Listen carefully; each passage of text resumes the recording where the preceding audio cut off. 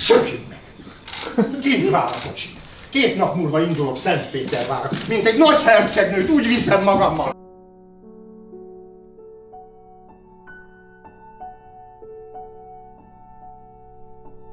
Nincsen nagyobb keserűség annál, mint ha öregen látjuk, hogy hol rontottuk el az életet. Mit csinált az elmúlt fél száz évben? Szenvedtem.